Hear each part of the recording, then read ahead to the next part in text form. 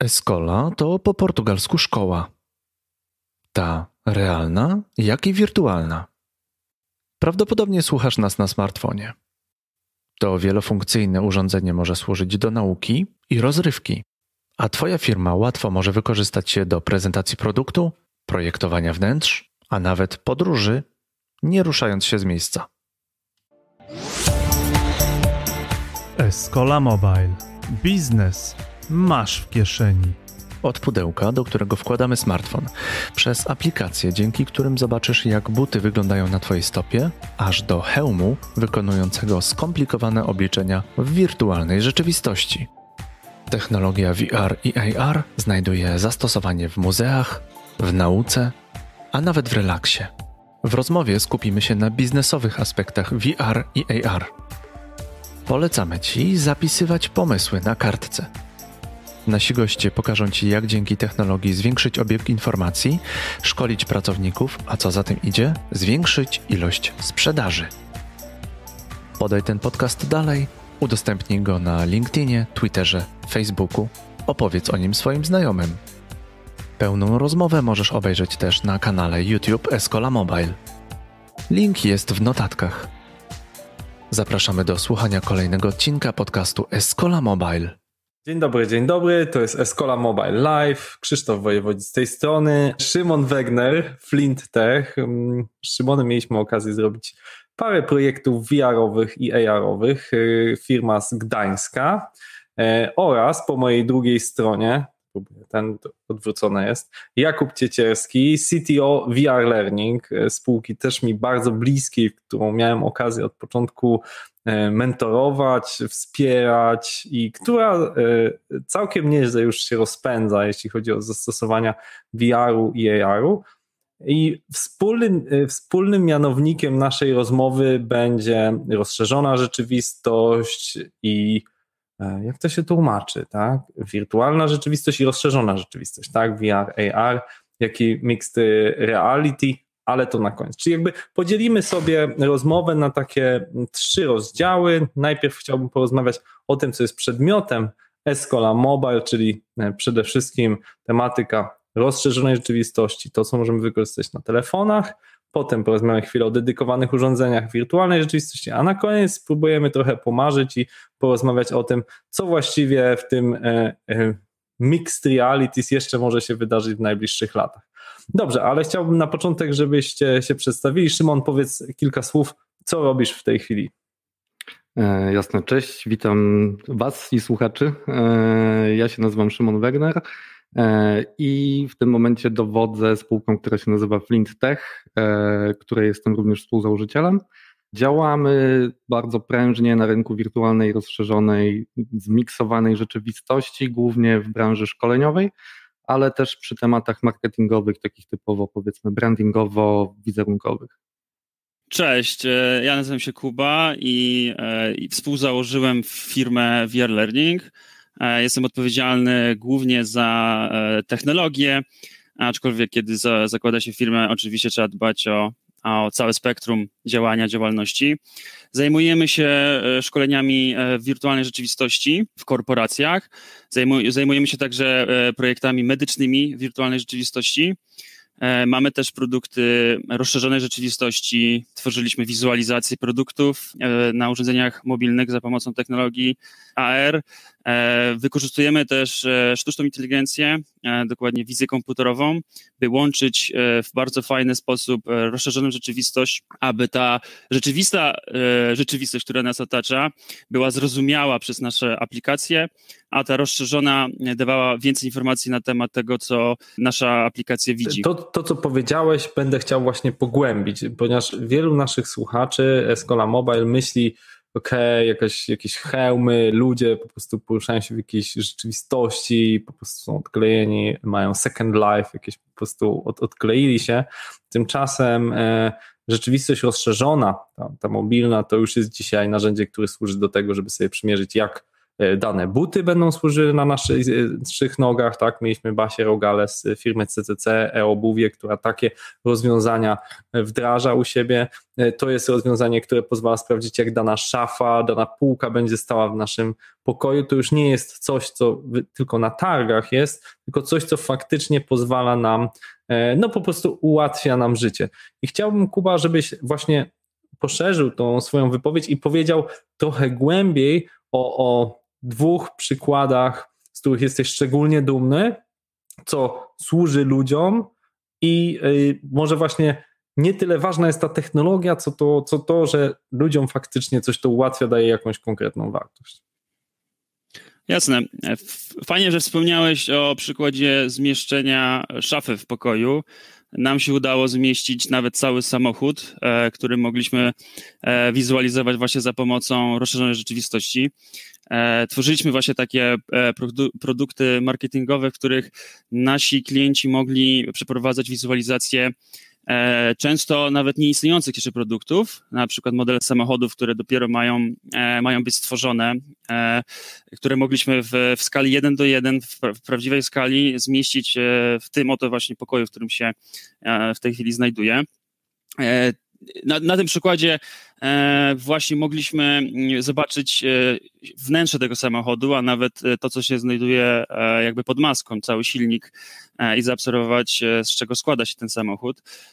idąc tą myślą też widzieliśmy, tworzyliśmy też wizualizację dużo większych produktów, jak i całe blokowisko całe mieszkalne, w których można było zaobserwować e, tutaj na naszej, na naszej podłodze, jak ono będzie e, wyglądało i z jakich budynków będzie się składało. Zapytam cię w takim razie, dlaczego właściwie to się robi, tak? No bo to wygląda, czy to jest taki efekciarski gadżet, że okej, okay, przychodzi jakiś tam prezes firmy deweloperskiej, czy tam chce pokazać swoim klientom, jakie to jest fajne, no i pokazuje, o, tu jest taka miniatura bloku, który wbudujemy i wszyscy się cieszą, czy to ma jakieś znaczenie, nie wiem, z perspektywy inżynierskiej, że możemy coś zobaczyć, czego na przykład nie zobaczymy w komputerze w symulacji, czy to ma służyć, że samochód postawimy w pokoju, żeby, nie wiem, zobaczyć, czy on pasuje, jakby do czego właściwie służy taka e, wizualizacja?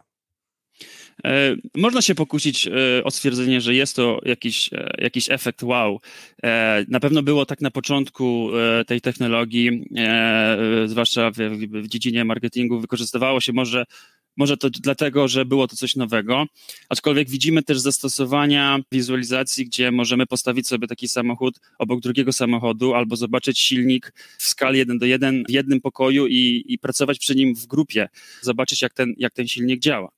Aczkolwiek rozszerzona rzeczywistość to nie tylko wizualizacje przecież w tych urządzeniach mobilnych mamy dostęp do kamery, która jakby obserwuje ten świat. I fajnie, gdyby te nasze, nasze aplikacje rozszerzonej rzeczywistości potrafiły zrozumieć to, co widzi przed sobą.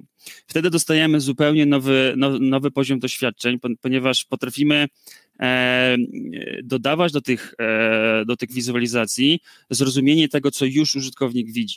Czyli na przykład idąc, idąc tą myślą e, samochodu, potrafimy, możemy spojrzeć przez telefon komórkowy na, na, na ten samochód, otworzyć maskę, i zobaczyć, który przedmiot to jest faktycznie ten silnik i z czego się ten silnik składa.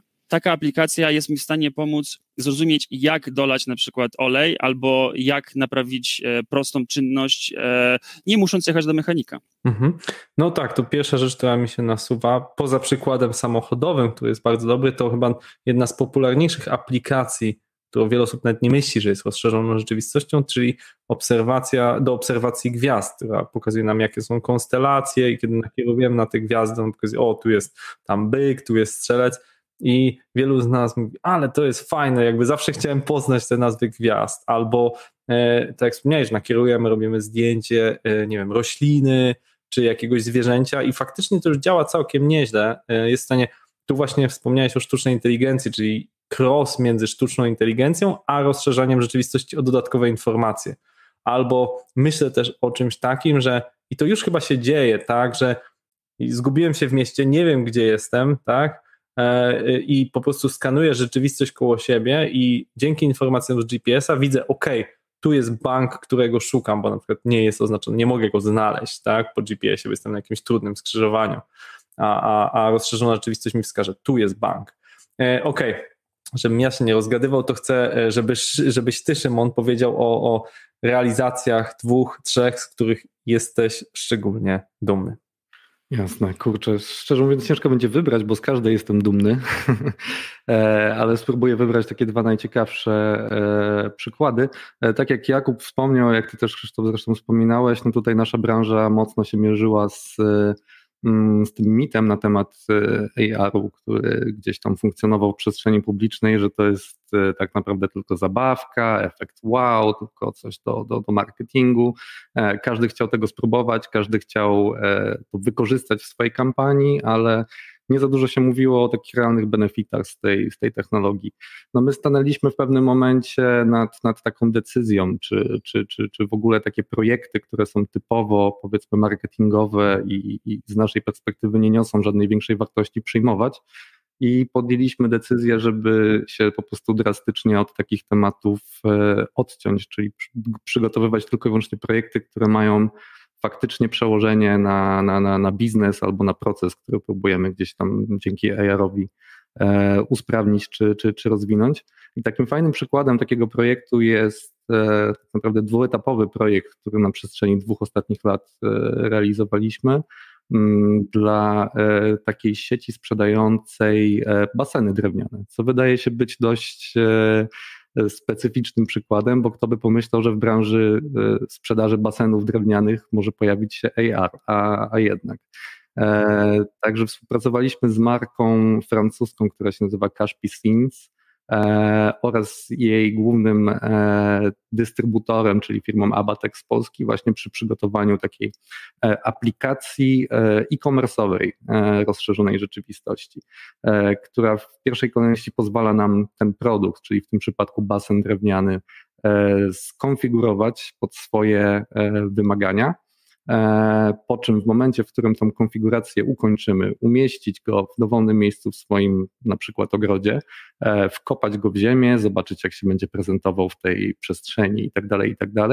Plus tak naprawdę najważniejszą częścią tej aplikacji jest to, że po takiej konfiguracji możemy tą konfigurację zapisać i w sposób zautomatyzowany ta konfiguracja trafi do najbliższego dystrybutora mm, w danym, w danym e, obszarze firma, o której mówię, ma zasięg globalny, stąd też musieliśmy stworzyć do tej aplikacji spory backend, także mm, coraz częściej widujemy teraz projekty, które nie są tylko i wyłącznie rozszerzoną rzeczywistością, ale też powiedzmy większą machiną i jakąś częścią e, częścią układanki.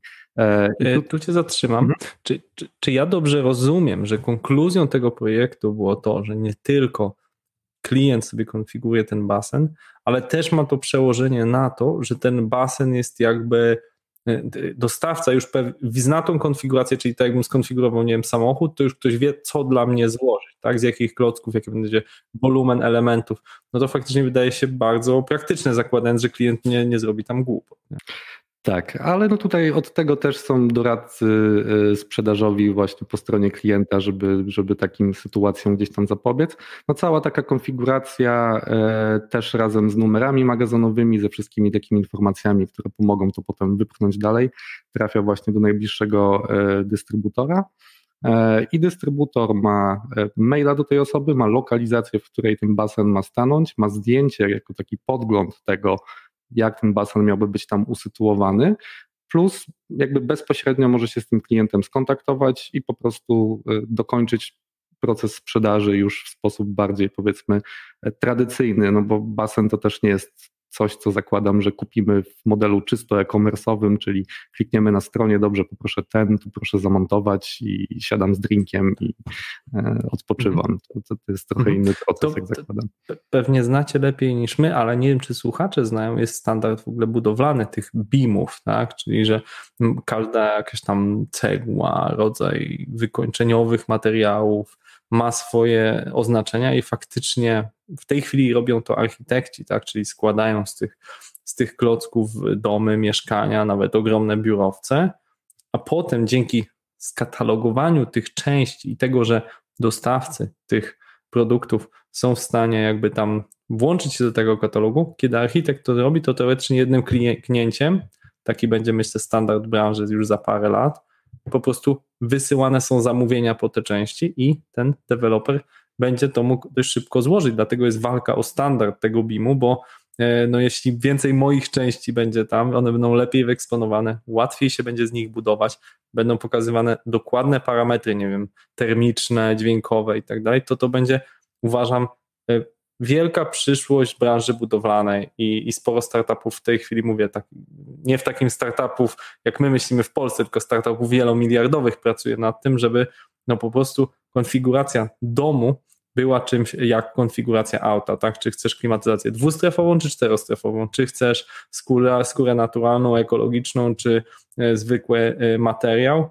I potem powstaje ci cena, ok, poproszę taki samochód, będzie gotowy dla ciebie za 6 miesięcy, tak? I, i, i tak samo moim zdaniem w ciągu, no może w Stanach kilku, e, w Europie kilkunastu lat może być w branży budowlanej.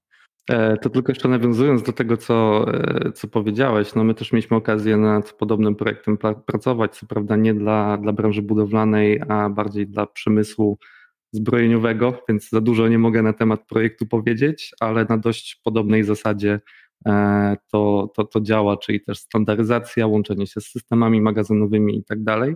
Także czuję, że to może być nawet trochę szybciej niż, niż parę najbliższych lat, bo wiem, że kilka bardzo dużych marek e, pracuje nad tym w tym, w tym momencie. E, a idąc do, do drugiego przykładu, może też wybiorę taki przykład dość osobliwy, E, mieliśmy okazję pracować w zeszłym roku z marką Browning, która jest e, marką amerykańską, gdzieś tam głównie kojarzoną z bronią. Także mieliśmy na początku taką zagwostkę, czy w ogóle w ten, w ten kontrakt wchodzić, czy nie, bo wiadomo, że, że, że, że temat broni w Stanach Zjednoczonych no to nie jest temat powiedzmy czysty wizerunkowo i PR-owo, e, ale założeniem tego, tego projektu miało być też gdzieś tam to, żeby bezpieczny sposób tą broń przechowywać, czyli Browning wypuścił taką serię sejfów, które też z punktu widzenia prawa są niezbędne do tego, żeby tą broń móc w ogóle posiadać, bo musimy mieć gdzie ją zdeponować. E, I te sejfy stały się przedmiotem właśnie aplikacji aerowej, czyli robiliśmy tak naprawdę taki konfigurator, podobnie jak w przypadku poprzedniego projektu, e, by ten safe skustomizować właśnie pod swoje, pod swoje wymagania, no plus oczywiście też zwizualizować w danej przestrzeni, jako że to są produkty no, takie wysokogabarytowe, to tutaj jak najbardziej ta rozszerzona rzeczywistość ma, e, ma sens. Co ciekawe, Browning pociągnął za tym bardzo ciekawą i fajną kampanię marketingową, e, ponieważ zrobili konkurs na Instagramie, e, żeby zachęcić ludzi do korzystania z tej aplikacji, który miał właśnie zachęcać do tego, żeby zrobić jakieś fajne zdjęcia z sejfem. E, I oczywiście okazało się, że 90%, tak, 90% zdjęć, które przyszło, to były zdjęcia ludzi przygniecionych przez aerowy safe, także chyba wszyscy wpadli momentalnie na to samo. I też takie zdjęcie zresztą konkurs wybrało, nagrodą był oczywiście realny, realny safe. także też myślę case, case ciekawy i osobliwy, bo myśląc rozszerzona rzeczywistość, no pierwsze co nam się nasuwa to są meble, tak, i, i takie powiedzmy najbardziej, e, najbardziej tradycyjne e, zastosowania. I też nawiązując jeszcze do tego, co, co, co powiedziałaś właśnie a propos tego, że jest coraz więcej powiedzmy produktów na rynku, które mm, tego rodzaju zastosowania spełniają i też w branży gdzieś tam inżyniersko-konstrukcyjnej, my też mamy w portfolio naszych biznesów e, nowego partnera od jakiegoś czasu, taki startup My Model, który właśnie tworzy E, narzędzie do wizualizacji różnego rodzaju projektów, czy to architektonicznych, czy ogólnie kadowych w rozszerzonej rzeczywistości.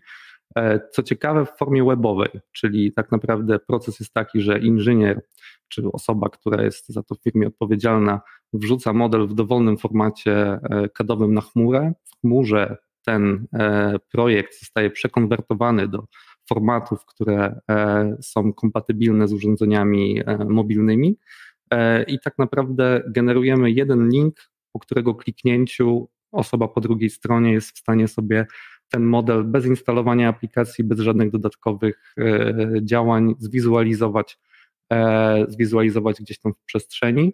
Mm, plus to też jest takie narzędzie do kolaboracji nad, nad danym projektem, ponieważ jakby obie strony na realnym modelu, który możemy sobie u siebie w biurze postawić i gdzieś tam otworzyć dyskusję na jego temat, E, możemy sobie dodawać z obu stron, powiedzmy, komentarze, co byśmy chcieli w tym modelu zmienić, w jakim kierunku to powinno pójść, więc jest to też w pewnym sensie takie narzędzie do kolaboracji, więc nie jest to może przykład typowo jakby dla konsumentów, choć pod tym kątem też jest wykorzystywany przez e-commerce, y, ponieważ też pozwala te modele umieszczać na stronie internetowej, e, znów bez, bez jakby potrzeby instalowania aplikacji, ale też właśnie takie solidne narzędzie do kolaboracji między inżynierami w taki dość nieszablonowy sposób. Myślę też, że jedna z takich kluczowych zmian, które idą wraz z postępującą technologią, to jej upowszechnianie się, a co za tym idzie, um, ułatwienie instalacji. Na przykładzie VR-u, o którym za chwilę będziemy mówić, to jest to, że kiedyś to, to człowiek wyobrażał sobie hełm, który jest tam masa kabli, szła do komputera, zainstalowanie tego wymagało po prostu inżyniera, a w tej chwili już jest hełm bez kabli z bardzo szybkim przesyłaniem i transferowaniem danych. A teraz, tak jak powiedziałeś, bardzo często jest to rozwiązanie webowe. Zauważyłem, że wszystkie nowe rozwiązania Apple, jakie są prezentowane, jak się pojawia się nowy komputer, nowy e, monitor, można go za pomocą e, wirtualnej, e, rozszerzonej rzeczywistości zobaczyć, jak będzie wyglądał na biurku i to się dzieje poprzez zwykłą przeglądarkę, tam Safari czy inną. I to, to robi na mnie wrażenie, w takim sensie, że Apple'owi zależy na tym, żeby nie trzeba było ściągnąć żadnej dedykowanej aplikacji, a, mi, a mogliby przecież przekonać swoich użytkowników, żeby taką e, pobrali. I tu chcę płynnie przejść do, do pytania właśnie do, e, do Jakuba. Wiem, że robiliście takie rozwiązania bardzo konsumenckie dla telekomu, żeby wyjaśnić przysłowiowemu Kowalskiemu, nie wiem, jak podłączyć router do internetu. E, I właśnie to musiało być, no właśnie, bez instalowania dodatkowej aplikacji. To powiedz może tak, dotykając tej strefy technicznej, jak coś takiego się buduje, żeby to do tego Kowalskiego było uruchamialne w łatwy sposób. Mhm.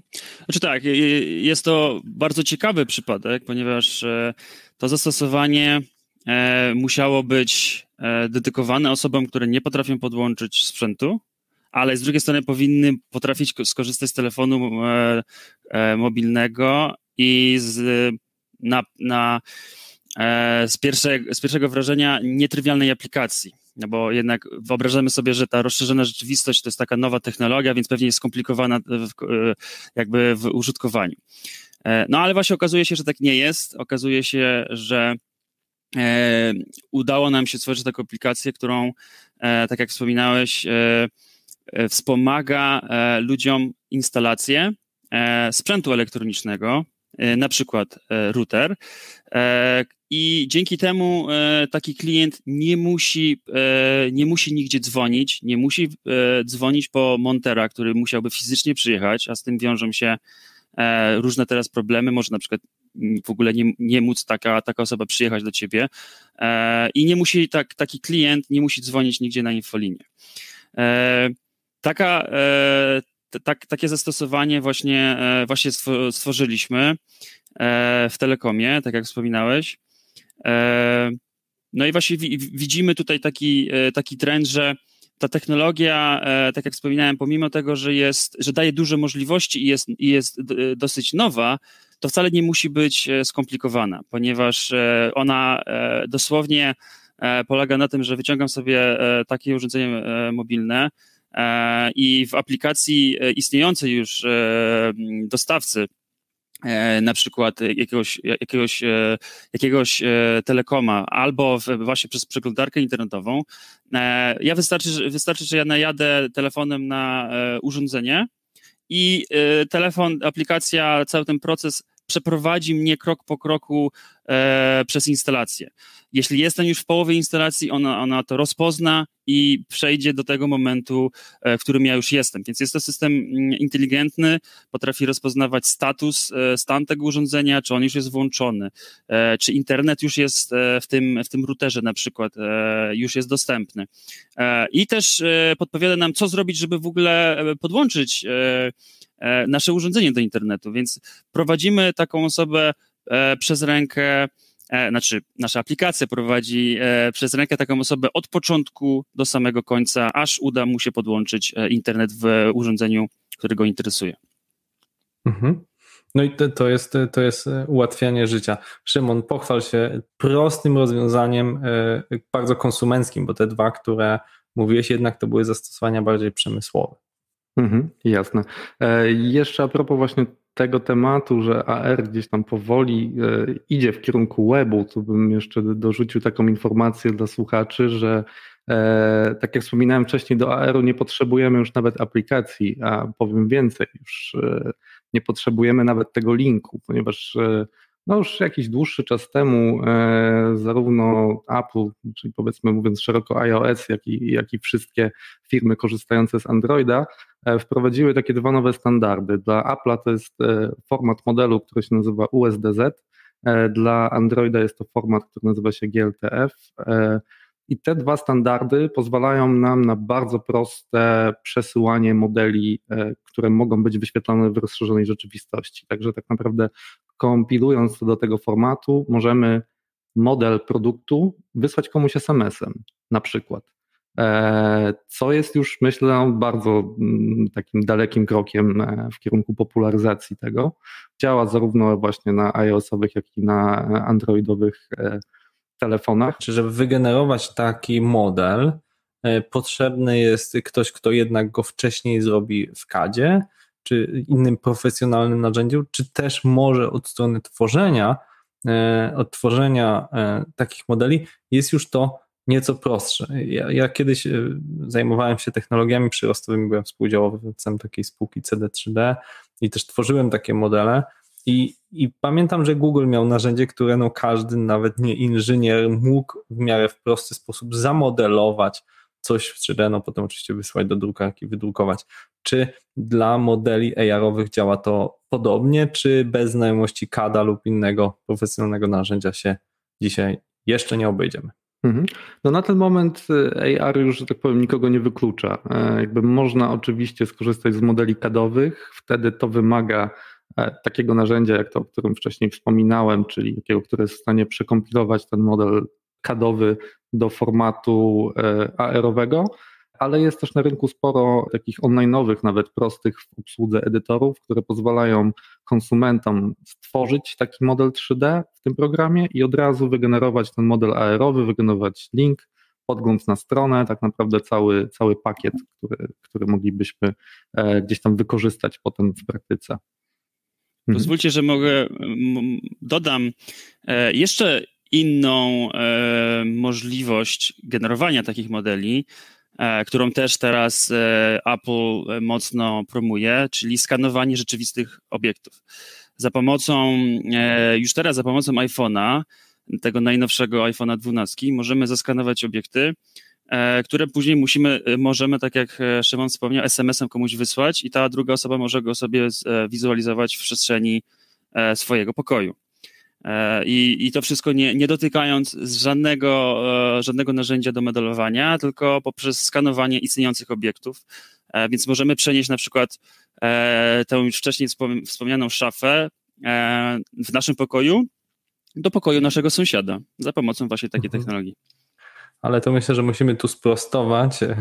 Jako prezes Escola Mobile muszę drobne sprostowanie zrobić, że trzeba mieć tego iPhone 12 Pro, bo on ma skaner LIDAR, tak, i to o tą technologię laserową chodzi, że e, no, tak naprawdę w praktyce dokładnie nie wiem, jak ten LIDAR skaner działa, czy to są, czy to jest odbijanie się dźwięków, czy to jest po prostu laser, tak? Odbijanie lasera, tak jak wspomniałeś. Laser. To jest mhm. kamera głębi działająca na podczerwieni, która po prostu szacuje gdzieś tam dystans od kamery do obiektu i przez to łapie, e, łapie skalę. Ja jeszcze dodam, e, też rozwijając wątek, naprawdę krótko, że są też takie rozwiązania, które pozwalają przy zwykłych iPhone'ach, po prostu nakładając na to taką nakładkę z, z dedykowaną kamerą głębi, osiągnąć tak naprawdę tą samą funkcjonalność.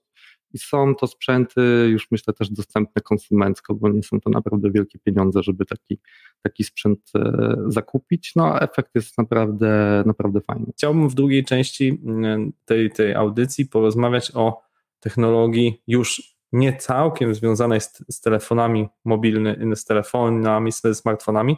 Faktem jest, że sporo jeszcze można znaleźć w App Store czy Google Playu e, rozwiązań, jakichś aplikacji VR-owych, które używamy nakładając sobie jakiś taki e, tak naprawdę e, ala hełmik plus telefon wysokiej rozdzielczości, te, te hełmiki nazwijmy to można kupić za e, dosłownie 30-50 zł na Allegro, sobie umieścić telefon i faktycznie mieć pewne wrażenia tej rzeczywistości wirtualnej, czyli mieć taki powiedzmy budżetowy, bardzo budżetowy hełm VR ale e, technologia idzie przede wszystkim w kierunku dedykowanych hełmów VR i chciałbym posłuchać Was jako ekspertów, no co wygrywa i, co wygra, tak? Kuba, może, może Ty zaczniesz.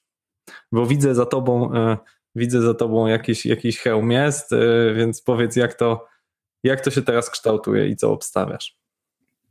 Tak jak wspominałeś, hełmów robi się coraz więcej. E, coraz więcej producentów e, tworzy, e, tworzy sprzęt. Wszystko zaczęło się od, tak naprawdę popularyzacja VR-u zaczęła się od, od Oculusa, czyli sprzęt stworzony w garażu, który później został wykupiony przez Facebooka.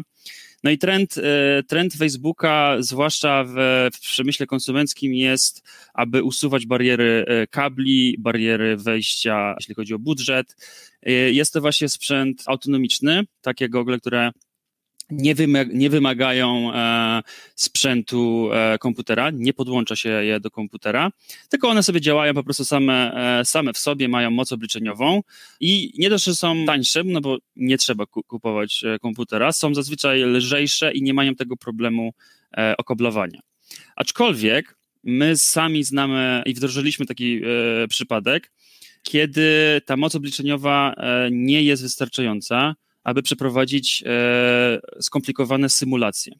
E, jak już na początku wspominałem, zajmujemy się też w VR-em w medycynie, gdzie ta moc obliczeniowa jest potrzebna do symulowania rzeczywistych odzorowań rzeczywistych organów ludzkich. I wtedy E, faktycznie ta moc obliczeniowa, e, e, która znajduje się w komputerze, jest bardzo, bardzo przydatna, nawet, nawet, nawet jest wymagana. I wtedy korzystamy z takich gogli jak Oculus Rift S, które podłącza się, podłącza się przez kabel. Więc e, o ile to, to, e, oczywiste dla nas jest to, że e, te gogle autonomiczne prędzej czy później wygrają ten rynek, to na dzień dzisiejszy my sami, sami widzimy zastosowania jeszcze tych, tych okularów z kablami. Oculus to, to jedno, czy jest jakiś drugi standard rynkowy, czy jest jakaś tutaj jakiś duopol, czy jest więcej firm na rynku, czy Facebook wpompował już w Oculusa tyle pieniędzy, że właściwie nie ma szans, żeby ktoś mm, cena versus jakość dogonił, czy, czy za chwilę może Apple wypuści swoje gogle i jak to Apple ma w tendencji po prostu znowu zrobi taki duży przełom, tak? No jeśli wypuści, to zakładam, że znokautuje konkurencję tradycyjnie, E, ale tak, jak najbardziej. No w tej branży jest cały czas wyścig zbrojeń. E, tu oprócz Oculusa właśnie wspomnianego e, jest też oczywiście HTC, które było tak naprawdę za czasów początków Oculusa no takim liderem na rynku. HTC Vive to były gogle, które zamiotły po prostu cały rynek w momencie, w którym się, się pokazały i jesteśmy świeżo po premierze właśnie nowych modeli gogli marki HTC, zarówno kablowych, jak i i też autonomicznych. No my z HTC współpracujemy bardzo blisko. Pozdrawiam Dorotę przy okazji, która nas pewnie słucha. Niebawem będziemy też na rynek wypuszczać zapewne sporo produkcji właśnie opartych o, o te gogle. E, plus też widzę za Jakuba plecami gogle Pico Neo 2. E, to też bardzo ciekawa, ciekawa marka Mm, która e, skupia się mocno na biznesie i odpowiada na te potrzeby e, klientów biznesowych w trochę inny sposób niż Oculus, ponieważ no z Oculusem e, bardzo wiele firm ma, ma w tym momencie problem ze względu na tematy związane z licencjami, ponieważ cena takiego headsetu z licencją na użytek komercyjny jest no niewspółmierna do tego, ile on kosztuje normalnie konsumencko. E, I też wiele firm, które już zakupiły sporo ilość, sporą ilość headsetów, dowiedziały się tak naprawdę po fakcie, że pojawiła się nowa biznesowa licencja nie można jej dokupić i tak naprawdę jeśli te headsety już mają, no to powinni je sprzedać najlepiej na Allegro bądź OLX-ie i kupić sobie te biznesowe, bo nie ma opcji na upgrade, mimo tego, że jest to identyczny sprzęt. Także tutaj e, tak naprawdę Oculus bardzo, bardzo mocno strzelił sobie w kolano i, i, i wielu klientów ma z tym, z tym problem, plus też widzę, rozmawiając z wieloma klientami, że e, tak naprawdę jeszcze nie ma wiedzy do końca na temat tego, że jest jakaś w ogóle biznesowa licencja, która pozwala w legalny sposób korzystać z tego oprogramowania. No i e, no, niestety wiele firm po prostu żyje w słodkiej niewiedzy i, i korzysta ze sprzętu konsumenckiego, co, co, co wydaje mi się być sporym problemem na, na, na ten moment właśnie z headsetami e, Oculusa. A też jeszcze a propos tej mobilności tych headsetów, my też skorzystamy e, z headsetów w taki sposób hybrydowy, tam gdzie tylko jest na to możliwość, tak jak Jakub wspomniał, same gogle autonomiczne nie mają takiej mocy obliczeniowej, żeby bardziej zaawansowane symulacje przeprowadzić, ale mają możliwość podłączenia zwykłym kablem USB-C, na przykład w przypadku Oculusa, do komputera e, i wtedy będą ciągnęły tą moc obliczeniową z komputera. Także dzięki temu jesteśmy w stanie uzyskać powiedzmy e, mniej więcej taką samą jakość jak na goglach kablowych, e, kiedy tego potrzebujemy, a kiedy tego nie potrzebujemy, możemy kabel odpiąć i z powiedzmy bardziej zoptymalizowanej wersji aplikacji korzystać sobie mm, typowo mobilnie a jest to sprzęt bardzo zbliżony do urządzeń e, mobilnych, tak od strony e, technicznej. No mamy tu do czynienia z e, procesorami Snapdragon, które znamy właśnie z urządzeń androidowych. Tak, gogle są tak naprawdę też na postawione na systemie operacyjnym, który jest, jakby wywodzi się z Androida w pewnym sensie. Także tu jest bardzo dużo podobieństw między właśnie sprzętem takim telefonii komórkowej, a tymi goglami autonomicznymi z którymi, z którymi jakby na co dzień pracujemy. I też e, jakby no stąd się to wywodzi, tak jak wspomniałeś też o, o, o goglach, które jeszcze gdzieś tam w marketach czy na Allegro można kupić e, i, i wsadzić do nich telefon, żeby z tego korzystać. Jakby w ten sposób się to zaczęło, można powiedzieć, tak konsumencko, bo no, na największy szał był na gogle Samsung Gear VR, które były za darmo przez Samsunga dodawane do Samsungów bodajże od S7 w górę jeśli dobrze pamiętam, albo S6. I, i, I, tak naprawdę wiele osób dalej kojarzy VR z telefonem komórkowym wkładanym gdzieś tam w gogle. Czyli mogę mieć prośbę do słuchaczy, nie kupujcie proszę gogli, do których wkłada się telefon. Nic bardziej nie zepsuje nam obrazu VR-u niż źle zrobiony VR albo nieodpowiednie powiedzmy e, doświadczenie e, mm, z VR-em, a, a, a, też z takim sprzętem łatwo sobie wyrobić takie no, negatywne zdanie na temat tego, jak obcowanie z VR-em e, wygląda. Także e, omijajmy szerokim łukiem. Ale, ale wiesz, bariera wejścia rzędu 40 zł czy 50 zł, bo ja testowałem takie rozwiązanie kilkukrotnie, naprawdę zachęca i e, chciałbym, żebyśmy jeszcze chwilę porozmawiali na temat mm, tego, co właściwie się z tym robi, tak? Bo często właśnie tak jak mówisz, ludzie mają doświadczenie, że no wsadzili ten telefon, tam nie wiem, coś popatrzyli w 3D, na jakieś tam niebo, czy, czy nie wiem, jakąś jazdę kolejką, rollercoasterem, takie, w takie gry grałem, e, czy jakieś, chodzimy po jakimś labiryncie i to faktycznie daje dosyć ciekawe wrażenia. E, natomiast to, co mnie mm, jakby zaczęło zastanawiać, to no właśnie, jak już ubrałem ten prawdziwy hełm, no to nie wiem, e, pływam łodzią podwodną, widzę, że coraz więcej gier jest zestawionych, że na przykład jest, nie wiem, PS5 i można grać w to także na goglach. Więc chciałbym porozmawiać, ok, mam gogle i co to daje, tak? Pierwsza rzecz, która jest bardzo popularna, widziałem, to są zdjęcia 360, tak? Nie wiem, chodzę po nieruchomości, chcę zobaczyć ten, o czym rozmawialiśmy, biurowiec, czy chcę kupić, nie wiem, działkę, e, więc chodzę po jakimś miejscu i ja oglądam naprawdę prawie, że jakbym tam był. E, więc to, to są te, te obrazy 360. I druga rzecz, no to są wszelkiego rodzaju gry, których faktycznie pojawia się coraz więcej.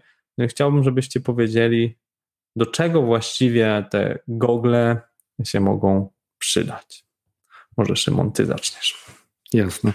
To jeśli byśmy mieli tak podzielić to, do czego te gogle są używane, to też można to podzielić e, w pewnym sensie od perspektywy takiej technologicznej, czyli e, tak jak wspomniałeś o, zdjęcia o zdjęciach sferycznych, także no, taki jeden powiedzmy poziom tego, co możemy tam w VR-ze zobaczyć i, i doświadczyć, to są zdjęcia sferyczne i filmy sferyczne. E, filmy sferyczne, czyli tak naprawdę to samo co zdjęcie, tylko że w formie filmowej, czyli film, po którym możemy się w dowolnym kierunku rozglądać i, i, i też ubrany w odpowiednią aplikację pozwala nam e, stworzyć jakąś ścieżkę decyzyjną, co my na przykład bardzo szeroko wykorzystujemy e, u klientów korporacyjnych w e-learningu, bo możemy te tematy e-learningowe przenieść bezpośrednio do VR-u, tak naprawdę zachowując cały proces, który w firmach już gdzieś tam był obecny. Taki drugi level tego, co możemy zrobić e, z VR-em, to są wszelkiego rodzaju aplikacje bazujące na modelach 3D. I tam idziemy już powiedzmy o poziom wyżej, ponieważ no, te gogle VR, które powiedzmy osoby, które miały z nim styczność, mogą pamiętać z czasów właśnie Samsunga Gira czy, czy jakichś tam pierwszych modeli e, mobilnego Oculusa, one pozwalały tylko i wyłącznie na rozglądanie się po prostu po, po danej treści, czyli tak zwane trzy stopnie swobody. E, teraz mamy już do czynienia z goglami zarówno mobilnymi, jak i kablowymi, które pozwalają nam na 6 stopni swobody, czyli oprócz tego, że możemy się w dowolnym kierunku rozglądać, to też możemy sobie wyznaczyć taką przestrzeń, po której się będziemy potem poruszać i w bardzo naturalny sposób po prostu poruszać się po tej przestrzeni. Każdy nasz krok, każde nasze działanie będzie bezpośrednio też przeniesione do, e, do VR-u. I to jest na przykład mm, genialny case pod wszelkiego rodzaju procedury, które byśmy chcieli właśnie podczas tego rodzaju szkolenia odwzorować, ponieważ no też zostaje nam pamięć mięśniowa, możemy te, musimy te rzeczy zrobić manualnie w przypadku tego rodzaju szkolenia. E, I też po prostu krok po kroku e, program szkoleniowy jest w stanie nas z bardzo skomplikowaną procedurą zapoznać, w bardzo dokładny sposób sprawdzić, czy wykonaliśmy ją poprawnie, a na koniec jeszcze wysłać na, na serwer, czy to do LMS-a, czy LRS-a, czy jakiegoś agregatora, powiedzmy, danych szkoleniowych, niezwykle szczegółowe statystyki, które tak naprawdę przy klasycznym szkoleniu są no, nie do osiągnięcia w żaden sposób. Możemy badać co do milisekundy czas reakcji na, na, na jakieś wydarzenie, e, punkty, w które dana osoba powiedzmy patrzyła, na których była skupiona na podstawie takiej hitmapy, której, którą potem z tego generujemy tak naprawdę dowolne dane statystyczne e, możemy z tego wygenerować. No wiadomo, że w, e, w branży learningowej e, te dane to jest tak naprawdę, no można powiedzieć, złoto tak, dla, dla osób, które potem kolejne szkolenia przygotowują. No właśnie, ja pamiętam, bo wy dla jednego z banków e, robiliście takie szkolenie, gdzie właśnie przechodziliśmy pewną ścieżkę, rozmawialiśmy, obsługiwaliśmy, był nowy standard obsługi klienta. Nie wiem, czy możemy powiedzieć, jaki bank, ale tak, dla, dla banku Santander to, to było jak oni wprowadzili właśnie, przemalowywali się z zielono-czerwonego na czysto czerwony, był nowy standard obsługi i trzeba było jakby przejść ten nowy standard obsługi, ale było to dosyć statyczne, mm, czyli no, musiałem popatrzeć w jakiś punkt, wybrać określoną odpowiedź e, i, i to, co mówisz, to jest ciekawe, kiedy mogę się ruszać. Natomiast od razu kojarzy mi się taki, taka scena z filmu z Jasiem Fasolą, gdzie on ma te gogle VR-owe na głowie i porusza się w przestrzeni, myśl, jakby w sposób taki, no jak Jaś Fasola, dosyć e, taki e, niezaradny. E, no i wykonuje różne misje, bo mu się wydaje, że jest w wirtualnej rzeczywistości. I to e, przy, przychodzi mi na, e, na myśl, że no, naszym ograniczeniem jest ta przestrzeń, tak? Mówisz, że możemy narysować, tak, jakby gdzie są ściany, czy, czy to określić, żeby po prostu ktoś wczuwając się w tą wirtualną rzeczywistość gdzieś nam nie poszedł dalej. Widziałem też, że jest taki startup, był e, kilka lat temu Disco VR, tak, że ludzie na takim, nazwijmy to, wyprofilowanym dysku się poruszali w takiej uprzęży, po to, by mm, no jakby mieli wrażenie ruchu, ale nie poruszali się, nie, nie, nie uderzyli się o ścianę przykładowo, więc E, kluczowe. Szymon, jak ten problem się teraz rozwiązuje? Bo chyba to jest taki najgorszy problem, bo każdy by chciał ubrać gogle VR, chwycić jakiś karabin i po prostu biegać z chłopakami e, czy z dziewczynami i e, grać w laser taga, tylko że z goglami VR i myśląc, że jest po prostu amerykański Marines. Jak, jak ten problem rozwiązać?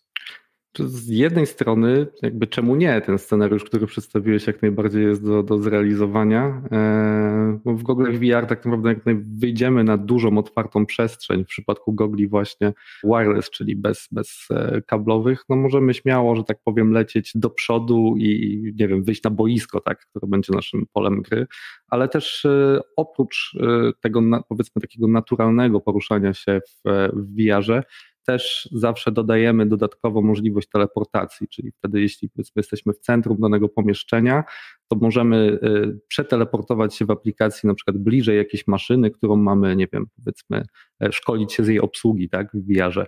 I wtedy już dookoła niej chodzić w naturalny sposób, a dostać się do niej e, dzięki, e, dzięki teleportacji.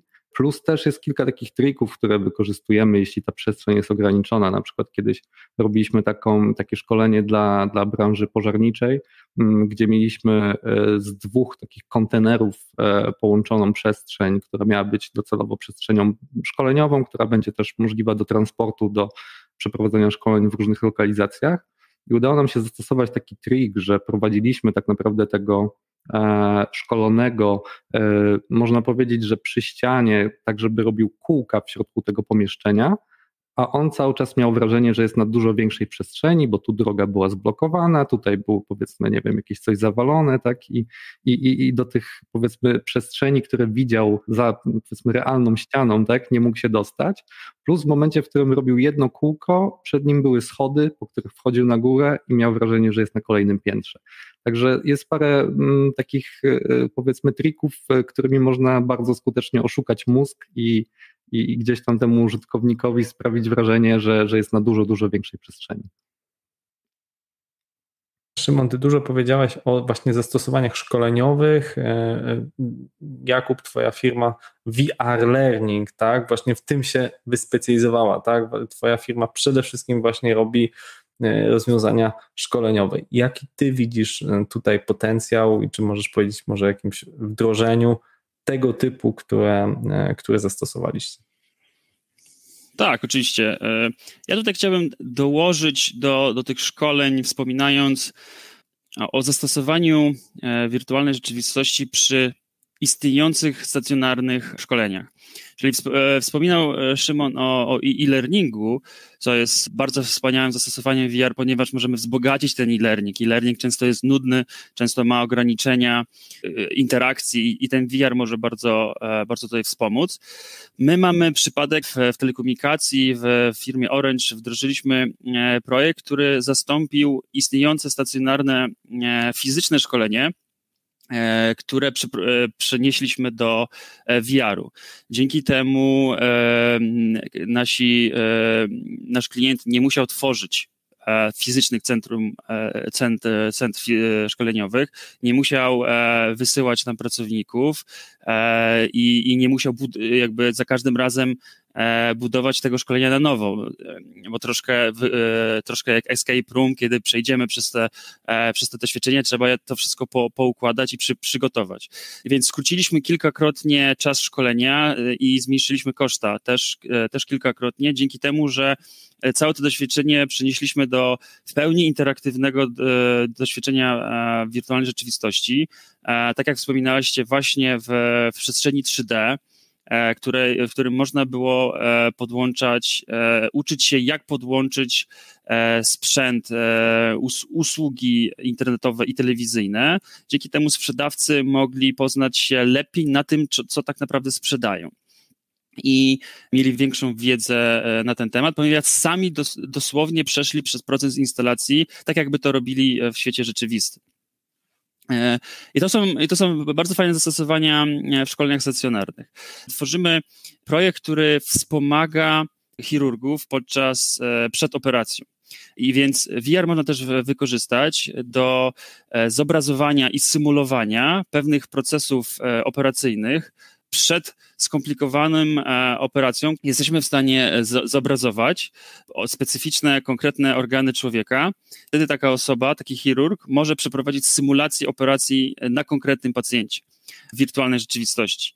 I VR jest tutaj bardzo, bardzo fajny, ponieważ wymagana jest ta pełna interakcja. Wymagana jest ta, ta, ta, ta przestrzenność trójwymiarowa, w której, w której właśnie chirurg może przeprowadzić tę, tę operację. E, Jakub, powiedziałeś o tym, że to jest symulacja, natomiast e, czasami możemy usłyszeć w mediach, że są próby, e, żeby ktoś zdalnie przeprowadził taką operację. To znaczy, czy Twoim zdaniem to jest nadal jakieś coś, co należy do przyszłości, czy Twoim zdaniem w perspektywie kilku lat faktycznie, nie wiem, ktoś zakłada gogle VR-owe i robot który stanowi ręce danego lekarza, nawet na odległość, jest w stanie e, przeprowadzić złożony zabieg medyczny. Czy to, czy to tak naprawdę jeszcze nie jest na tyle precyzyjne, żeby, e, żeby coś takiego wprowadzić na szerszą skalę? Wydaje mi się, że w przestrzeni paru, a na pewno paru dziesiąt lat e, jak najbardziej. Wiąże z tym się parę problemów, które musimy rozwiązać. Po pierwsze, narzędzia do sterowania, które będą przypominały te narzędzia e, rzeczywiste. Dodatkową sprawą, która musi się zmienić, to dostęp do, e, do bardzo szybkiej sieci, na przykład ta, która w tej chwili jest prowadzona, sieć 5G, która e, pomoże nam z, zminimalizować transfer danych, okres oczekiwania na, na wiadomości, które, które są wysyłane w każdej klatce symulacji, ponieważ musimy wykonywać czynności z wielką precyzją, ale też bardzo szybko, więc nie możemy sobie pozwolić na, na czekanie nawet kilkuset milisekund, tylko musi to się dziać bardzo, e, bardzo szybko. Przed medycyną albo co najmniej równolegle zostanie to zastosowane w wojsku czyli w sterowanie e, dronami, sterowanie robotami, które steruje się zdalnie, no, stety albo niestety, tak jak Szymon wcześniej wspominał, nie jest to może, jest to dość kontrowersyjny temat, aczkolwiek e, tu na pewno znajdziemy zastosowania VR-u i, i zdalnego sterowania no, robotami, które potrafią obronić się w, w boju. Mówisz wojsko, medycyna. Czy widzisz jeszcze tą przyszłość VR-u, czy e, też AR-u, tak, rzeczywistości rozszerzonej? Jakbyś miał powiedzieć za parę lat, co Twoim zdaniem nas czeka, tak? Wspomniałeś o 5G, że zmniej, zmniejszy tą latencję, ten czas oczekiwania. Czy są jeszcze jakieś takie next big steps, które Twoim zdaniem mogą się wydarzyć, żeby upowszechnić tą technologię, sprawić, że ona będzie łatwiejsza, szybsza, bardziej precyzyjna? Tak, znaczy ja widzę tę technologię w, przede wszystkim docelowo w konsumenckim zastosowaniu, codziennym konsumenckim zastosowaniu, czyli powrót trochę do tego, co Google już kiedyś próbował robić, ale wydaje mi się, że po prostu było to troszkę za wcześnie. Mówię tutaj o Google Glass, czyli o okularach, które miały być dostępne konsumencko, ale jak wiemy, wszyscy nie, nie do końca się przyjęły. Ale jestem pewien, że do tego wrócimy. Jestem pewien, że będziemy e, chodzić e, docelowo w, e, w takich okularach, które będą miały wyświetlacze, kamery, które będą potrafiły rzucać nam na drogę, fizyczną drogę, nawigację, E, dzięki temu będziemy mogli nawet w, w przestrzeni e, wewnątrz budynku dojść do konkretnego e, pokoju. To samo przy kupowaniu codziennych produktów. Będziemy mogli porównywać ceny, porównywać jakość produktów, po prostu na nie patrząc. Więc docelowo widzę właśnie zastosowanie VR-u i AR-u. Z czasem będzie, będą te technologie łączone w, prawdopodobnie w jedne, w jedne gogle, w jedne jakby urządzenia, w codziennym naszym naszym życiu. Mhm. Szymon, jak ty widzisz przyszłość wirtualnej i rozszerzonej rzeczywistości w perspektywie kilku lat? E, Jakub tutaj poruszył tą część konsumencką, więc ja może się odniosę bardziej do tej powiedzmy biznesowej. E, jak chodzi o wspomnianą medycynę, to tylko bym dodał, że e, taka operacja, o której mówimy, już została przeprowadzona. E, jest taki robot, który nazywa się Da Vinci, chyba nawet mamy jednego w Polsce, o ile się nie mylę, e, który pozwala na prowadzenie operacji zdalnie przez chirurga, który jest na drugim końcu świata. Na ten moment e, mamy tam do czynienia z ekranem, ale z ekranem, który w ponad dziesięciokrotnym przybliżeniu pokazuje chirurgowi to, co on dokładnie e, robi na ciele. No i ten robot, no jest bardzo mało specjalistów, ale mamy z tego co wiem najlepszych, najmocniejszych specjalistów na świecie, w Polsce, e, od obsługi tego robota i przeprowadzeniu na nim operacji. Także tu zakładam, że dołożenie gogli VR, czyli wymiana ekranu na gogle VR, to jest tak naprawdę perspektywa chwili, bo już dziś technologicznie jest to możliwe. Kwestia tylko tego, żeby to z tym sprzętem w jakiś sposób zintegrować. A jak chodzi o ten rozwój tej, tej, tej całej technologii, no to moim zdaniem stoimy na skraju absolutnej rewolucji związanej z 5G, o którym wspomniałeś. E, nie tylko rewolucji, jak chodzi o, o Google VR, ale ogólnie o urządzenia, z których korzystamy na, na co dzień. E, ja mam taką swoją teorię, że, e, która myślę, że, że, że może się sprawdzić w najbliższym czasie, że na, taką naszą powiedzmy walutą, tak, z której, którą będziemy kupować pewnie w modelu subskrypcyjnym bądź w jakichś pakietach, tak jak kiedyś internet, tak teraz stanie się moc obliczeniowa. 5G e, ma już takie możliwości przesyłu tych danych, że tak naprawdę urządzenia, z których korzystamy na co dzień, nie będą musiały mieć praktycznie żadnej mocy obliczeniowej. Będzie to ekran z dobrym modułem Wi-Fi, e, ewentualnie z jakimś dyskiem tak, na, na, na, na storage, mm, co pozwoli na dramatyczną, mm, powiedzmy, miniaturyzację tych, tych urządzeń.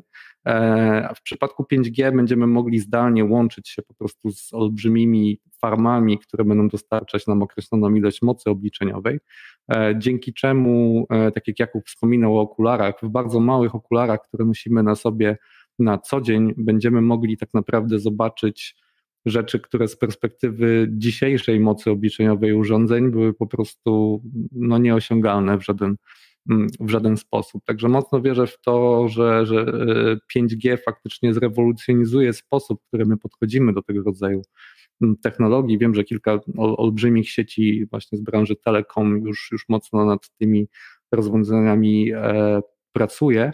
E, także jak chodzi o taką przyszłość, e, no już myślę nawet stosunkowo niedaleką dla, dla tej technologii, będzie właśnie korzystanie z cloud computingu, miniaturyzacja urządzeń, dramatyczne zmniejszenie kosztu tych urządzeń i co za tym idzie bardzo szeroka popularyzacja.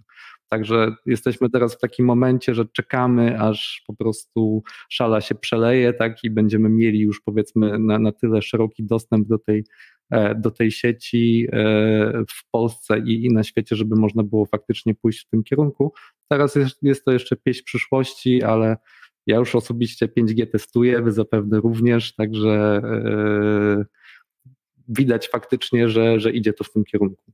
Rozmawialiśmy z Sylwią Czubkowską, redaktorką naczelną Spiders Web Plus, o polskich problemach we wdrażaniu 5G, to wokół tego to książkę pewnie można by napisać o odwołanym przetargu, który pewnie już dzisiaj miałby rozstrzygnięcie, mielibyśmy maszty 5G, no ale jednak wywiady polityczne chińskie i amerykańskie walczą także na polskim terytorium w tym zakresie. E, i dlatego 5G nadal w Polsce nie ma. Także jeżeli kupicie sobie najnowszego iPhone'a, myśląc, że wasz internet stanie się szybszy, to nie licząc testowych masztów, jeżeli macie wyjątkowe szczęście i macie testowy masz gdzieś niedaleko, to z 5G jeszcze przynajmniej rok w Polsce nie skorzystacie dla tych osób, które nas słuchają. Dużo osób nas, e, słuchaczy Skola Mobile o to pyta, e, jak rozmawiamy z takimi ciekawymi branżami, to jest jak wejść w daną E, branżę. E, Jakub, ty jesteś CTO, pewnie ciebie pytają o to samo. Jak młody inżynier, student może wejść do branży, tak? Jakby jak może się tam, nie wiem, czy zacząć od jakiegoś stażu, czy jak są jakieś programy, które powinien zgłębić, jakieś technologie? Dobra, e, jasne. Z perspektywy inżyniera, e, po pierwsze, proponowałbym po prostu poprzez, e, poprzez praktykę zainstalować sobie takie programy jak Unreal Engine 4 albo Unity 3D i spróbować stworzyć samemu jakiś, e, jakąś, jakieś doświadczenie. Internet jest w tej chwili pełen fajnych doświadczeń, e, dokumentacji, której można, można prześledzić. I jeśli komuś zależy na, e, na stażu w firmie, która właśnie zatrudnia takich ekspertów, to bardzo fajnie mieć doświadczenie właśnie w produkowaniu już jakichś, jakichś, jakichś doświadczeń. I to nawet niekoniecznie muszą być e, doświadczenia komercyjne, ale bardzo, bardzo interesująca jest osoba, która nawet po godzinach zajmuje się takimi technologiami, więc najlepiej po prostu dzisiaj jeszcze po tym podcaście usiąść i coś sobie zaprogramować. Szymon, czy ty jeszcze coś byś chciał dodać? E, na końcu ostatnie zdanie od siebie. Jasne. E, no to zapraszamy do naszych programów stażowych. Cały czas mamy otwartą rekrutację, cały czas nowe osoby przyjmujemy na, e, na, na staże do naszych spółek e, VR-owych.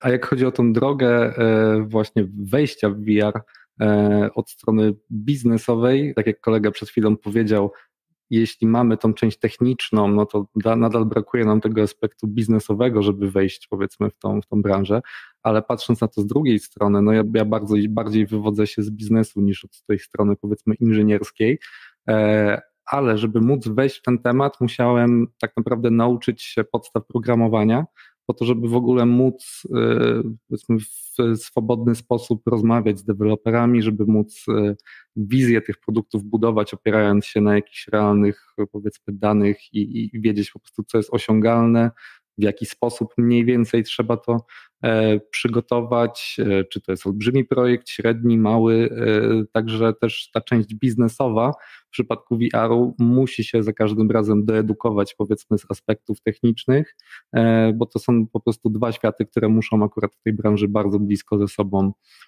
ze sobą żyć. Tutaj jak najbardziej wszystko, co powiedział Kuba, mogę tylko i wyłącznie podbić, ponieważ temat, jak chodzi o wejście od strony technicznej, można powiedzieć, wyczerpał. Jak najbardziej Unity, jak najbardziej Unreal Engine, czytanie dokumentacji, e, prowadzenie, uczestnictwo w kursach e, Unity, które są dostępne na, na stronie, czy podobnie właśnie w Unrealu, tak naprawdę ten proces został już tak uproszczony przez producentów silników, w których pracujemy, że na ich stronach internetowych mamy olbrzymie bazy wiedzy, które tak naprawdę wystarczą do tego, żeby rozwijać się, mm, się latami w tej, e, w tej branży od strony technicznej. Super. E, słuchajcie, e, moimi gośćmi byli Szymon Wegner, Jakub Ciecierski, Szymon z Flint Techu, Jakub Ciecierski VR Learning. Mieliśmy świetną rozmowę dzisiaj o tym, jak stosować w praktyce wirtualną, rozszerzoną rzeczywistość jak wejść do tej branży, co będzie nowego, co nas czeka za parę lat. E, panowie, bardzo dziękuję Wam za rozmowę, a słuchaczy zapraszam do kolejnego odcinka Escola Mobile. Escola Mobile. Biznes masz w kieszeni. Dziękujemy za Twój czas i za to, że spędziłeś go z nami. Escola, będziemy to zawsze powtarzać, to po portugalsku szkoła. W szkole dzielimy się wiedzą i to jest misja tego podcastu. Im więcej wiedzy krąży w naszych głowach, tym więcej wiedzy możemy wykorzystać. Dlatego udostępnij ten podcast na LinkedInie, Twitterze, Facebooku. Może ktoś zechce skorzystać z wiedzy naszych gości. Kontakty są w notatkach. Zapraszamy Cię na Escola Mobile na YouTube. Link jest w notatkach. Znajdziesz tam większość rozmów w formie wideo, a także najsmaczniejsze kąski z podcastów. Używasz ekosystemu Apple? Daj nam 5 gwiazdek i recenzję. Im więcej gwiazdek i recenzji, tym bardziej kocha nas algorytm. I właśnie dzięki Tobie możemy dzielić się wiedzą. To był 87. odcinek podcastu Escola Mobile. Dziękujemy, że jesteś z nami. Do usłyszenia.